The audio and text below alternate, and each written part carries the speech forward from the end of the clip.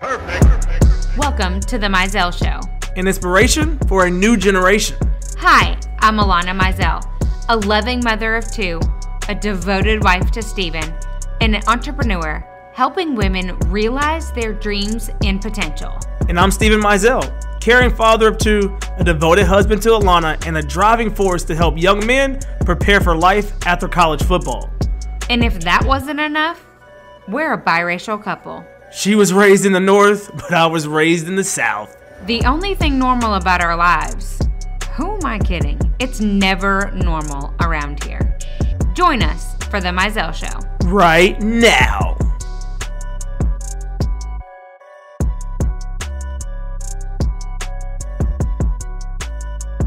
It's International Podcast Week, and the Mizells are back. Is it really? Yes, International Oh. Podcast Week. Okay, yeah, it is. Duh.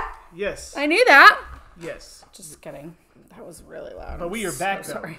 You're gonna have to fix that. Oh, it wakes them up. They're excited to hear your voice. It has been a few weeks, and we are back on the Mizell Show. It's been a lot of weeks. Eh, but you know, it happens. It's, It- it's it- like those that are parents, the start of school is just. I say this all the time. It's like a fire hose. It's just Yes. coming straight at your face. I feel like the, the the start of summer, you're like, oh my god, me overplaying and playing. All of a sudden, summer just flies by. You're like, I can't wait till school by. happens, and then I'll be into a routine. All of a sudden, everything happens at the beginning of school, and you're like, oh, this well, is and like a the lot. adjusting of the kids into different grades, yeah, and I'm trying to get myself as human as possible. yeah. Gotta get If ready. If you saw me right now, you'd be like, "But are you?" Hey, you're you're you're struggle. human. You're I'm humaning struggling. as much as you can. I'm driving the struggle bus. Eh, no, you're not driving. You're like a couple seats from the driver. So you're there at the front of the bus, but you're not like Mm, I you think know. I'm, I think we're driving today. You're driving today. I finished a big task at what was it, nine thirty? But let's let's let's rewind. And I was like, like, wait, you you but you know, do I have to work anymore today? I do, but I was like, we have to work. That's why. You, that's why you. But you, you're working during your lunch break and doing this podcast. You know, That's it's right. something that you got to do. Got to multitask. Got to multitask. Got to get but stuff this done. isn't is you know how people say to find what you love. oh, It's literally in a country song by Jordan Davis. Find what you love and do it every day. Yeah. That's podcasting, I think, for me. Like I don't feel like it's work. It's because you're the talent, and you just show up. and You just like you. You're right. You just uh, what's it called? What's it called? You piss excellence because you just hop on the mic and just go. Sweat glitter and piss excellence. Well then, Alana is here in full oh. effect. Yes, she is. Especially So, okay. This reminds me of Alana After Hours. Alana, so our kids got introduced to Alana After Hours a couple weeks ago. You know, Adele and Briggs are playing flag football. The first time they're both playing flag football during the season. Adele has played since Another she, reason that we are not totally adults. Adele has played since she was first grade. This is her third year. Oh yeah, first grade. She is all in. Briggs was thrusted into real football with my previous career, so Briggs knows real football. Right. But he's playing flag. And has he's been now- taught how to tackle as a five year old. Yeah, so he's now right way. Now he's enjoying flag football. But all that be Mm-hmm. said, Adele had a game that started at seven thirty. Like kickoff was. I don't know if anybody knows, but my kid's bedtime is seven thirty, and mine is right after seven seven thirty-five. thirty the game kicked Mine off. is seven thirty-five. So all the adrenaline was running, and the game didn't finish till like eight forty-five, and so the kids got to meet Alana after hours. Alana that usually doesn't hours- show up till the kids go to bed. Yeah, until the kids go to mm-hmm. bed. But no, but this time the kids got a chance to meet her because she was in full effect, and so now the kids know who Alana after hours is, and So- Adele jokes about it. Alana After Hours is me. I essentially just say whatever I feel like. Yes, like you you have hit your max and it everything. is going to be me when I'm a Gram Gram. Gram Gram. Like I cannot wait. so you're gonna be like Bluey on the Graham episode. Absolutely. That's, that's one of the Grouchy. Grannies. Grouchy Granny. Like That's just- gonna be me. No filter. But it's just- gonna be funny as all get out. Like I'm funny, Alana After Hours. Yes, and you're gonna be Q's a button too. I mean, I hope so. My Graham was so cute. She's adorable. And she said whatever she wanted to. So There you go. the first time Stephen met Graham, we're totally off our normal flow. It's Hey, we're talking. the first time sh- he uh, met Graham. So Graham was my great grandmother. Yeah. She's the queen, the greatest, the Yes. matriarch of the family, my human outside of. Stephen. Yes. Just, ugh, she's a great. She has. I have her signature tattooed on my body. Like that's how much I love this woman. And I have a couple pictures around our house, and we talk about her like she's down the street. First time she's I the met greatest. her. But anyway, first time you met her, we decided to play Uno as a family, and Graham decides to break out the Baileys, in her afternoon coffee, yep, and then steals Steven's Red Sox hat wearing it backwards. and has it on. has it on backwards, drinking her Baileys, and While dominating, Uno. dominating Uno. What is Killing it. playing? She was killing it. she was killing it, She was filling herself. and she's her 90 something years old. 90 something, something years old. killing it. Love that's, her. That's my goal in life. And the crazy thing is when you you meet people. So Graham was Alana's person. She's also a person that we got a chance. I got a chance to meet a couple times. But also, my mom met Graham once and fell in love with Graham. In the way, like she speaks to Graham to this day. Like Graham was her She, person. like they used to call each other. yes, They would send cards to each. They were the cutest. Yes, she Just loves some cutest. Graham Graham. So we've been gone for a couple weeks. So Alana We has have. now finished twelve books. That's since- not true. I finished a few. You have finished a few. I finished a few. When? Oh, what was the last one I told them about? Ooh, go to your um handy dandy page. What's that? I know, but okay. Oh wow, Let me see. Um, probably Jodi Picoult storyteller. no, Yeah. the fair, the hockey. The au pair affair. Oh, perfect. The hockey guy that was sure? trying to I retire. told them about that. Yes, because I helped with the breakdown of it. Oh, okay. So then I've read. We're just gonna. I'm just gonna tell you what I've read, and I'm gonna tell you which ones I like the best. Okay. Yes. That's what we're gonna do. Um, yours truly by Abby Jimenez. Daydream by Hannah Grace. No More Secrets by Lucy Score. The Ex Hex by Erin Sterling. The Tourist Attraction by Sarah. I can't read her last name. Happily Never After by Lynn Painter. Okay. I would say my favorite Hold on. How many books was that? uh, was a couple. One, two, three, four, five, six, seven. Um, well, it didn't. I finally finished. I thought it was me, just me, Okay. by Brene Brown. But I've mentioned that on the podcast. So I've finished seven books, yeah, since our last podcast. Nice. Um, so all that to say, I love Daydream by Hannah Grace because that's a part of the Maple Hills trilogy. That's number three. I don't think there's another one. And I would say the one that I just finished, Happily Never After by Yeah. Lynn Painter, because it was witty. It Okay. was it was like witty on the first page, and I was about that. Yeah. I was about that. So finish a few books. Enjoy them. I finished a couple. Nice. Nice. I got a couple more to go. I, mean, anything. Anything you watching? I finished Emily in Paris. You did finish it. In Which, if you haven't seen it, shame on you. It's about to be Emily in Rome next season. And that's all I'm gonna say. yes, that's all I'm gonna say. Yes. Uh, I think the fashion was a little off Okay. this season, but was I don't know. I'm not really inspired by the Emily in Paris fashion because it's just not my vibe. Yes. Now, if they dress like Diana, Prince Diana, I'd be like, what are what are we getting? Yeah. We're gonna do top to bottom, left to right. Ugh, I love Diane Keaton. Diane Keaton just dropped a new coffee table book that's all about her fashion. And I oh, swear, Oh, wow. if, if Santa Claus doesn't bring it to me and put it on my coffee table, me and Santa are gonna have a chat. Oh. Okay. Okay. Me and Santa, Santa. Santa. gotta Hopefully, have a chat. hopefully Santa's listening. it needs to go right with my Kathleen Ashmore Big Bites cookbook. Yes. Which I haven't. I mean, I guess I've technically read Big Bites, but Big Bites cookbook Yes. slays. She did a good job with that one. It's so She did a good. good. Kathleen Ashmore. I also follow her on Instagram. It's a fantastic book. You got to get it. Good. You can get it at Target. Okay. What about you? Haven't read anything. Um, I balance it out. you balance it out. So, but I did listen to recently. We took a trip up northeast uh, to Connecticut, and on the trip, um, I listened to a new Wondery podcast. Oh, Very good. on the plane. on the plane there and back. Uh, just a fascinating. I, I, I enjoy the um, the thrillers of a podcast, and this one's called "Over My Dead Body: The Tallahassee Lawyer," Oh, and it was very fascinating. Wow. Long story short, Tallahassee lawyer is murdered in broad daylight, whoa. very randomly. Uh, he was going through a very meticulous divorce uh, with his wife, but his wife's family, that was very traditionally religious, I would say. I'm not gonna say what religion, but they were not happy with him. And fast forward to the end, the mother and one of her brothers hired a hitman to Whoa, and they found him. and to kill him and to get the kids and the wife what they really wanted. So it was it was very fascinating. It was a very good navigation, very good story to tell. Wow. It you, you guys, I didn't even know he listened to that. I, I listened to it. You it was, just it kept really it all to yourself. I mean, just kind of just listened to it on the plane. Dozed off a little bit, but I got most of it. Me on a plane is I'm asleep before we take off. Yeah. The wheels like the engine's going even a little bit, it's like a sound machine. You're gone? Out cold. Out cold. On that trip, there and back, asleep. Asleep. Whole time. Both four flights, layover, sleep. I'll wake up, boop, go back to sleep. Yeah. Wait, yeah. It was also very early, both flights. It worked. So we went to Connecticut. I had a work trip Monday, Tuesday, Wednesday, and then we got to see friends and family on Thursday, Friday. Got to explore Connecticut.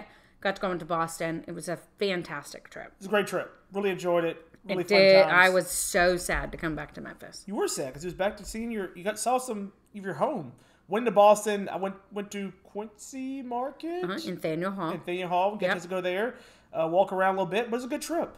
Ate delicious Italian food in the North End. We did. Went to a phenomenal Italian bakery called Bova's. Bova's. uh-huh. Bova's. It was great.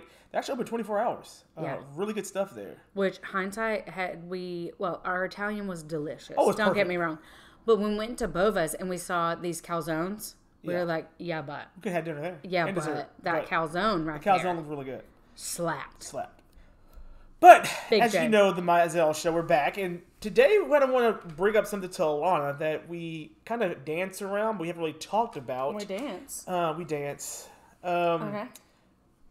So you got a new stain on your table, Yeah. and it's literally eating through your paint. And there's another stain on your table that we can't actually get it off, and it's still there, but Mm-hmm. it's not sticky anymore. How do you feel about this table and the new stains? And I wanted to also kind of relive. If you haven't heard before, we had a part one of the table, so check it out. Uh, an older oh episode. yeah, the kitchen table. But Uh-huh. part two, we wanted to kind of bring to you today, in this time of season that we life we're in with um, voting Mm-hmm. and political changes and all this, we wanted to bring the table back. And so I wanted Mm. to ask Alana, can you name two of your top two conversations at this table? Top two. Okay, so let's explain this table. So Yes. Stephen and I bought this table. Probably shouldn't have bought it if you knew how much money we spent when we first got married, but we bought the table. This wasn't that much money. Just comparative to I mean, else. we didn't have any money, but it, this table was not that much money. It was a good. It was a good. It's a good. Um, yeah. it- table and chairs was under three hundred dollars, which does not exist. yeah. Facebook Marketplace wasn't around yet, or else let's get real. That's where she would have been. But the, you guys, this is the heaviest farmhouse table I've ever seen in my life, Yes. and it's got a leaf in the middle. It could see one, two, three, four, five, six, seven, eight people, Eight people. easily. And the thing about it is, Like, when room. we bought it, it was very like it's a nice table.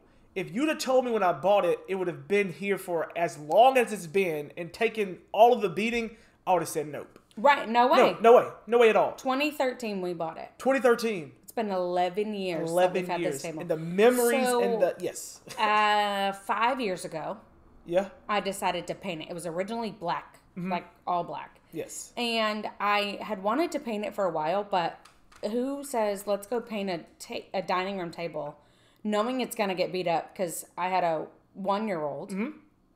Five years ago? No, I had a almost four, almost four. five, six. Anyway, and I had a toddler. Toddler, yeah. Both of them brings us alive. So that's insane. Like, don't do that. Anyway, but I knew I didn't like it black, and I wanted to paint it. So it's got nicks and bumps and scratches. And now it was like it almost looked like it was supposed to be there until this gigantic ring on it. And let me tell you, I'm not a huge coaster girly. It was painted with chalk paint. It cured. It did what it was supposed to do. But And it's done what it's supposed to do for the for the time being. I mean, it's been 13 years Yes. and it's never never had a ring left on it. Whatever that was was either acetone or some some sort of acid, and it ate through the old as all get out chalk paint, Chalk paint. on this table. yes. I still am like, I don't know what that was, but it clearly was on the bottom of, a cup Some of a cup or something. of a cup of something. Part of me is wondering. So we went out of town. Part of me is wondering if the girl that was watching our dog actually had Chick Fil A iced tea, because I've heard that that iced tea can. No! Sorry, guys. It was the Chick Fil A iced tea because Chick-fil-A iced tea? Thurs- Yes, That's we- what it was. Because you got the the, one that I had. Yes. Chick Fil A iced tea Oh ate my through goodness. paint, y'all. Yes. paint. We were sitting here trying to yes, and that's on the other spot. It's because we got a free drink with it. Yeah. So Wow. I don't I'm know excited if it was because we sitting guys we have been trying to figure out. It's like weeks. Our neighbor. I don't know if we were sitting through if it sat in lemonade or what, but it ate through it. So I'm just gonna let y'all know that it ate through the paint. And um, because we were trying we, we were trying to rack our brains if you're drinking what, it every day, just know what else it's eating through. Just throwing it out there. because we were trying to figure it out because we went out of town and our, and our house sitter's awesome and we didn't think she would paint her nails and then Alana said it would smell so we couldn't figure out what it was but yes we Also, went on a, acetone would have gone through into the whatever the wood is underneath Yeah. this. I don't even know if this table is wood. Like I don't know what this table's made of, or else I would have sanded it down and stained it. Yeah. No, we have no idea. But it's heavy as all get out. Anyway, okay. The first, the question that you actually asked me before Yes. we pre-cursed yes all the nicks and acts. The nicks and acts to me tell a story. Now the ring on the table is a different level. That just feels a little different to me. Um, that feels a little bit too nicky nacky. You know, when you can tell that it was a cup.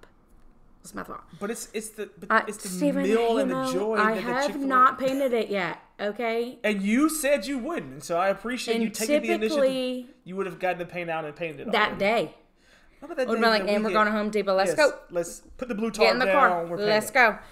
Healing and wellness and motivation is huge for the Mizell Show. And recently we had New Day Healing and Wellness on the podcast. We are super, super excited to be able to offer you guys a discount code under the name Mizell. If you hop into New Day Healing and Wellness, you can go to Red Light, you can go to the sauna, you can do the salt booth. They have so many different things to offer, and we're just so excited for you guys to be able to experience some wellness of your own. I have to say my birthday. Ooh. So my birthday, not this past year, but the year before, we had four friends over. Kids were at their grandparents' house. Not that I don't love children, but they were and the friends did not bring their the, gifts, no yeah. kids No were kids here. yeah. Ooh, they were was a- friends that didn't know each other, and it was one of the most hilarious nights.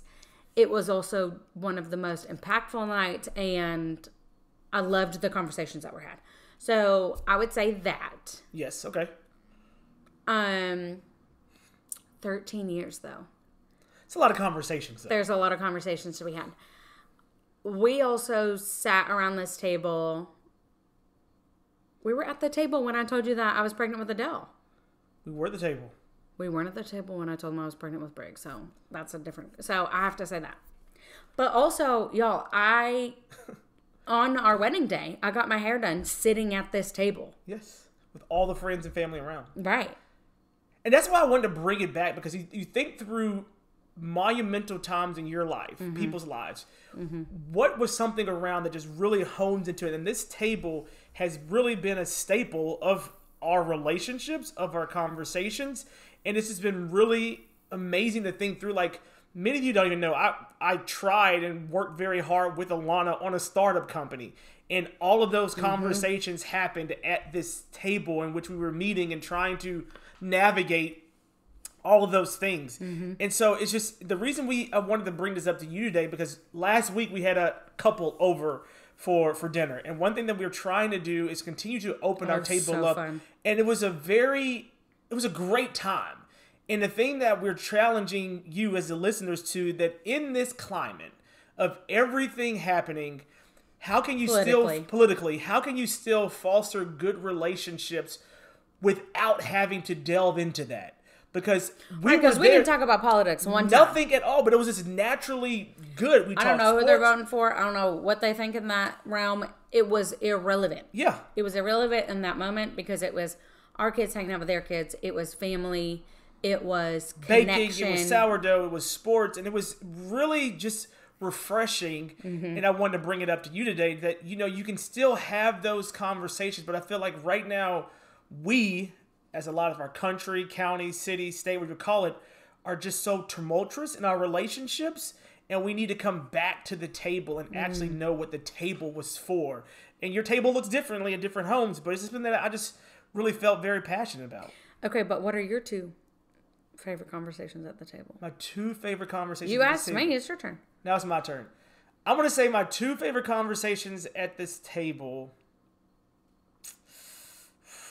Man, okay. One is going to be we we hosted Patrick Taylor Jr. and his then kinda girlfriend Yes. Now wife Lauren. Now baby Now mama. baby mama Lauren at our table, and it was one of those things where Right. So we knew how much he really liked her. really liked her, but she was very apprehensive. apprehensive. She was younger than him. Yes, I mean, she- they, she still is, but in Yeah. college. yes.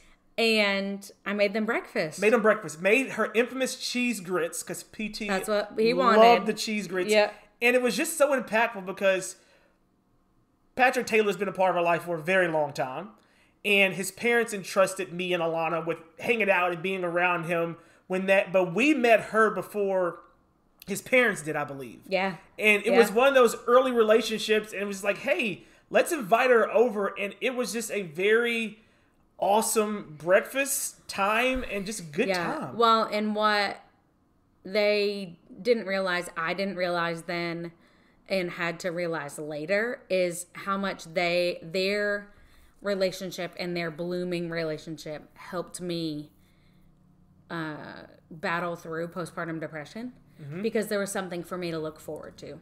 yeah.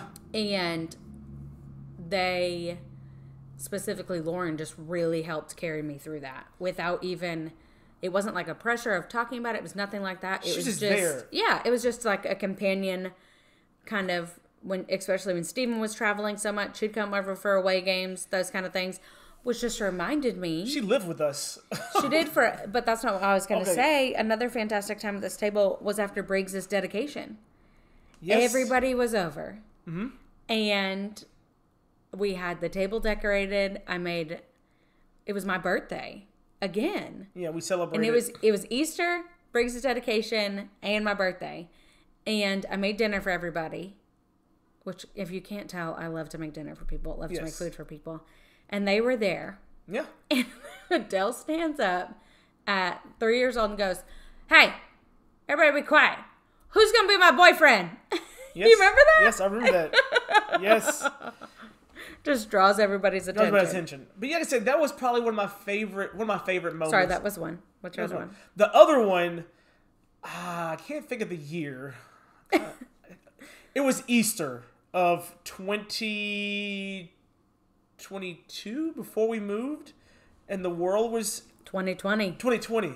Yes, Mm-hmm. Easter 2020, when the world was shut down, Hmm. we were in the process of moving, and the table was like one of the last. We can't pack a table up. The Well, last. it also weighs 12,000 pounds. Yes, true. It was it was one of the last few things we had packed up, and Alana ma- again made a great Easter dinner. But we had been in the house all day, sprawled out in the den on mats, watching movies, couldn't go anywhere, and then we all yeah. got up and came and sat and ate an Easter dinner, and it was just. The thing about it is, sometimes in the most solid moments, you can feel the most. Mm. And there wasn't great conversation that time, but just having the family there and not rushing to to what's happening tomorrow, or it was just like Mm-hmm. we're here. Because so many times you're like rushing to do something next, but we were just here and we had been together all day, but getting up and coming to the table Mm-hmm. and eating that and then going back to our pillow forts after that, but we just got up and sat. And it's something that I don't even know if Adele and Briggs will remember it, but it was a very special time. Briggs And- definitely won't because he was like one years old. Yeah. But that was, I think that was one of my favorite days ever. Yeah. Like core memory, you know, Inside Out. It's one of the circles for sure. Inside Out 2, Inside Out 1, Core Memory. Both of 'em. Both of them. Both of them. But yeah, so I mean, like I said, it's one of those things where it's this table has been through so much, Mm-hmm. and as you guys navigate your your day to day, you know, we just have to let you know to bring more people to your table, and be able to willing to overlook some of the nicks, the wear and tear, the Chick Fil A rings that, that, that pop up out of anywhere Oh, man. and really be able to just have conversations with each other. And I think that's something that we in the last few years have really honed in on in terms of having people at the table and just enjoying the time together as friends and family. Absolutely. Thank you guys. Thank you. Appreciate you. So if you guys are enjoying this, definitely leave us a review. Give us the feedback. If there's something you guys want us to talk about, reach out to us on our website at themizellshow.com. There is a contact section. You can put it in there. We would love to hear about it. Or you can always go over to Instagram at The Mizell Show. Also, as always, don't forget to screenshot this episode and just add it to your stories and tag us on Instagram, on Facebook at The Mizell Show. Thanks, guys. Are you loving The Mizell Show? Well, we love you all. And did you know that you can have me and Steven talk to your team or a group of 25 of your friends? All it takes is 25 people showing up on either a Zoom call, a Facebook Live, or really anywhere, hopefully in person sooner rather than later. But how do you get us? So, all you have to do is email the at gmail.com or you can direct message us on Instagram at the Show.